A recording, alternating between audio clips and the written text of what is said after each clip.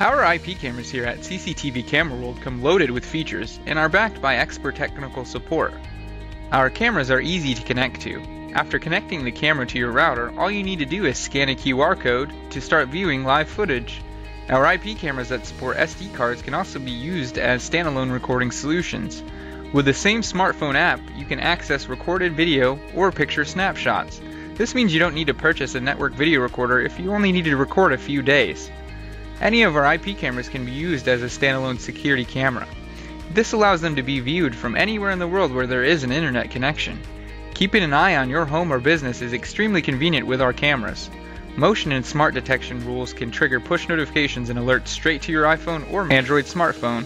Continue watching for a detailed demo of how easy it is to access one of our 4K IP cameras. Here we already have the app installed on our company iPhone, so I'm going to go ahead and open the app.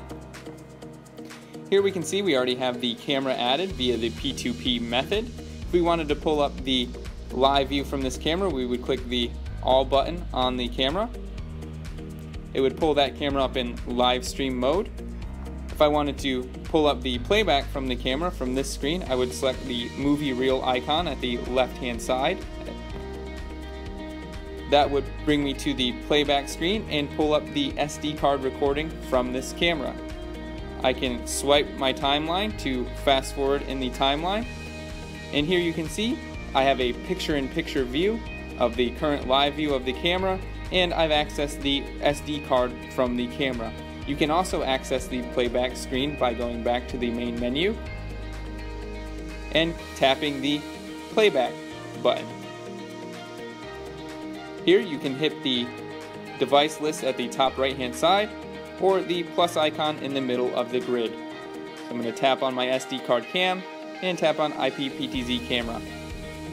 It's going to pull up my camera again and again I can swipe on the timeline to pull up the timeline and take a snapshot at, with the left button that's going to save a snapshot to my iPhone. I could record the video to my iPhone by pressing the camera button. I could tap it again to stop the recording. I could click the scissors icon and press the play button to export a clip by clicking play and then clicking stop. And it's going to ask me if I want to record, download the recorded clip. I'm going to click OK. It's going to download that clip from your SD card on your IP camera. And then at the top of these controls, you can see there is a pause button, there's a stop playback button, there's a playback speed button, this camera had audio, we could listen to the audio by tapping the speaker icon, or we can click the last icon to change it into full screen landscape mode.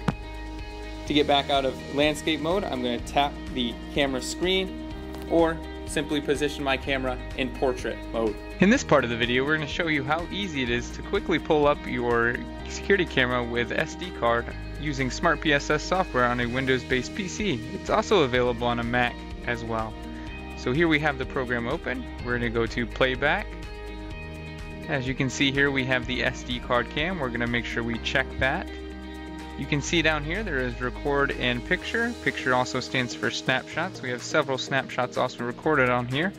But we're more so concerned about record at the moment. So we're going to click here. Now there's all sorts of recording types, but we know we have a good a general recording, and we can leave this on all record. And then you can choose mainstream or substream.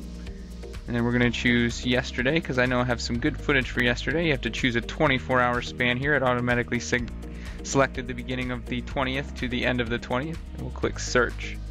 You can zoom in using the mouse wheel. I know I have some good footage here around 4 o'clock, so we're going to click here on our timeline and this brings up the playback. We can see the trees rustling and some cars moving in the background. We can click the stop button to stop playback. Then we're going to bring up the snapshot. So we're going to come back over here to click picture. And we make sure to go back and select our camera and click search for the same period of time. This will pull up the SD card photos and snapshots that are stored on the SD card. We can click next to move through these, or you can use the autoplay feature here on the bottom right. You make you can enable that and then it'll play and cycle through these snapshots every two seconds. Thank you for watching.